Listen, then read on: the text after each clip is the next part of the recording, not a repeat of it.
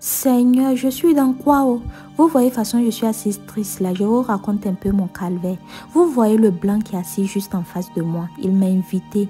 Donc, je voulais l'impressionner. Je amené dans un chic restaurant à Ouara 2000.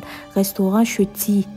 J'ai commandé riz avec soupe de pintade parce que je pensais que ça serait facile à manger. On vient m'ajouter fourchette et puis couteau. Heureusement qu'il est concentré sur son téléphone. Sinon, il allait savoir que j'étais gênée. Ah, ça là, c'est quoi ça? La honte. Nyandé, Nyandé, Delphine Nyandé. Et c'est même pas Fouchette et puis couteau viennent chercher quoi dans histoire de riz. Fouchette là, ça va à droite, ça va à gauche, je sais même pas. Hein? Si je mange avec la main aussi, je ne pourrais pas l'impressionner.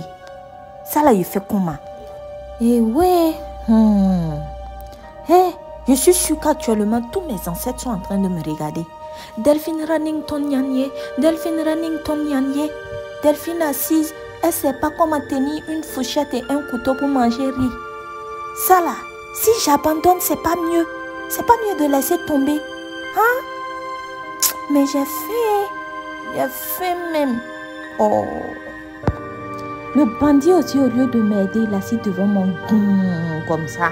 Hein? A sa tête. Lui, ça la même. Oh, là même commence à m'énerver. Bébé, tu manges pas Ah non,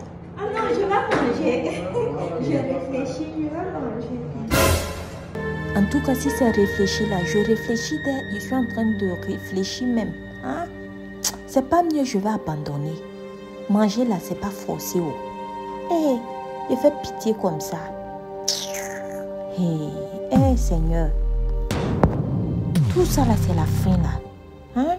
Sinon, est-ce que c'est forcé de manger? Ah, sinon ça va les.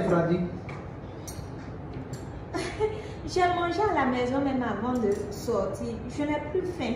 Je n'ai plus faim. Ah, tu n'as plus faim C'est pas fini, c'est mieux comme ça.